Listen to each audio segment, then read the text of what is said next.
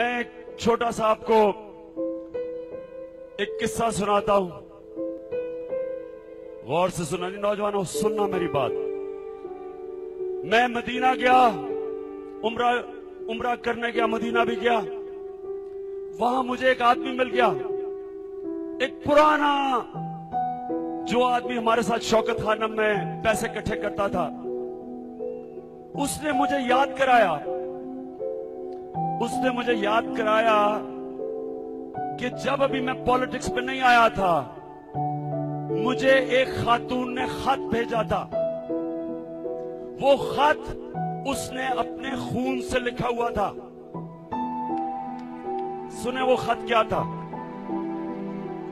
वो खत ये था, उसने कहा कि मेरे खामत को कत्ल कर दिया। मैं और मेरी बेटी पुलिस स्टेशन जाते थे। उस उस केस को पूछने के लिए एफआईआर कटवाई। कहते, जो पुलिस वाले थे, वो केस को लंबा करते गए और वो मेरी बेटी और मुझे बुरी नज़र से देख रहे थे। तो वो तंग आके उसने एक दिन ये खत, तब ये खत लिखा कि इमरान खान तुम्हें कभी मौका मिले तो इस मुल्क की पुलिस को ठीक करना कि मेरी तरह की बेवा औरत कौन मुझे पूछेगा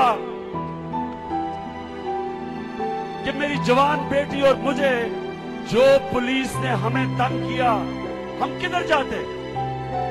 हामद को गोली मार दी, उसके कातलों के लिए पीछे जाएँ तो पुलिस पुलिस हमें तंग करे। ये आपको ताज़ा तरीन खबर की जानब। इमरान खान की मदीना वर्कर से मुलाकात के दौरान इमरान खान का 21 साल पुराना सेक्रेटरी मुलाजिम सामने आ गया, जिसने इंकशाफ किया कि एक खातून ने अपने खून से आपको एक खत लिखा था।